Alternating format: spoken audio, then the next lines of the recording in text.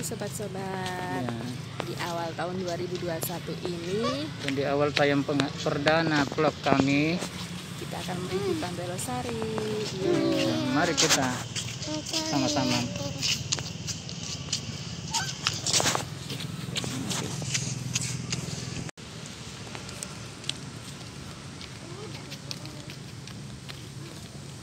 Tapi mungkin karena pandemi toh jadi Karena pandemi saat ini pantai ditutup untuk umum.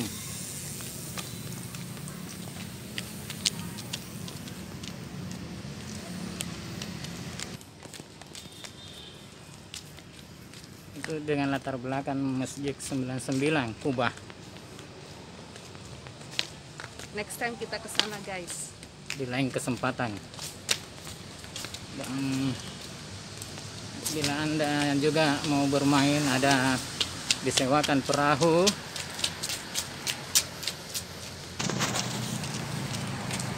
Ini teman-teman suasana pantai Losari menyewakan juga perahu. Kurang lebih sekitar 10 menit keliling pantai.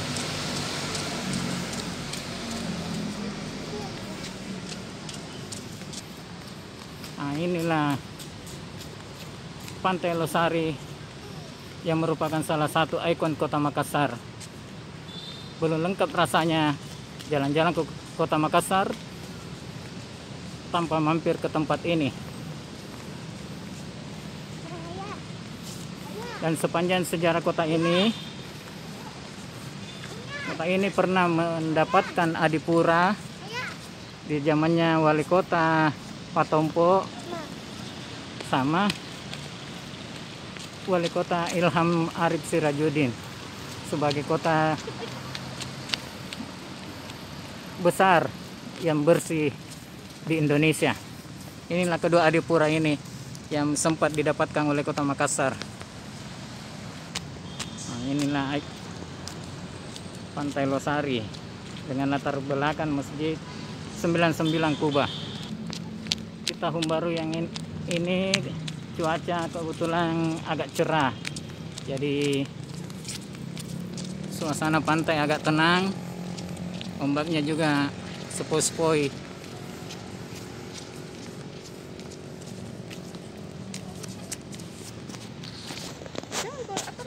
Masjidnya usah ombaknya saja. Iya, saya bisa.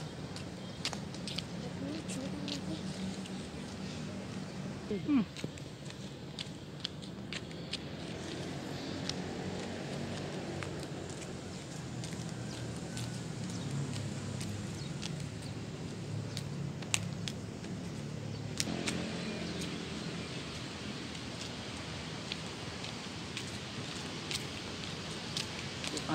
ini juga banyak ditanami pohon kelapa. Jadi terlihat betul suasana pantai dan juga banyak disediakan tempat untuk duduk bagi pengunjung. Biasanya tiap hari minggu di tempat ini sangat ramai teman-teman. Banyak tempat santai ada juga tempat jogging kayak di pelataran tadi itu.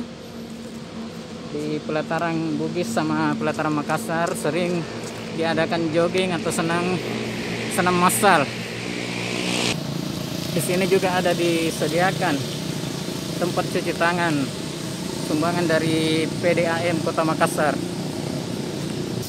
Ini contohnya ini Adul sama mamanya lagi ngaso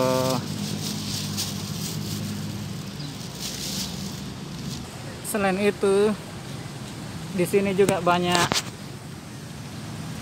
tugu antara lain ini tugu pinisi.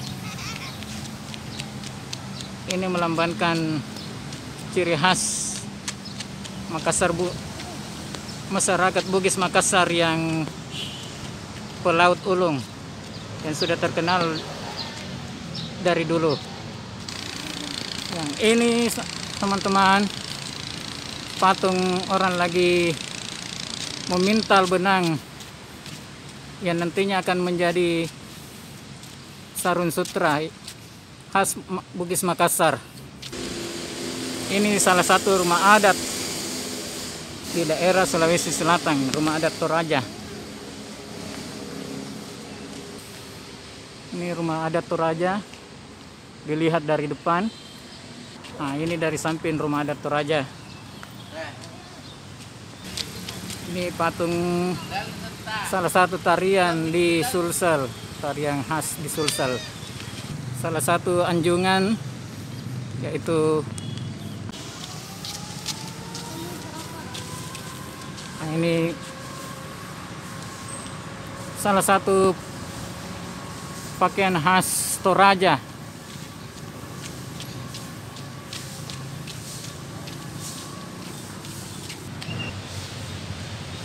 Rumah adat Toraja.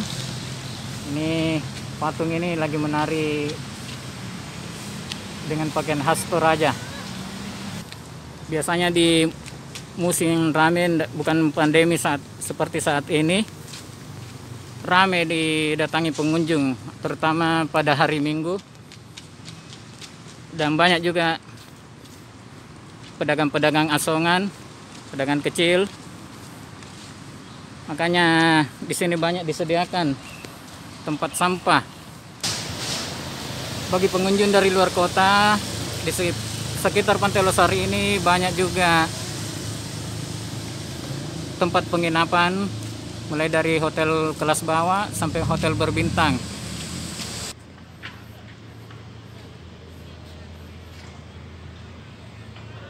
Yang dulu ya. Oke, terima kasih sobat-sobat. Semoga video ini bermanfaat ya. Jangan lupa like, komen, share, dan subscribe. Terima kasih. Wassalamualaikum warahmatullahi wabarakatuh. Matur suwun. Mari Kidi.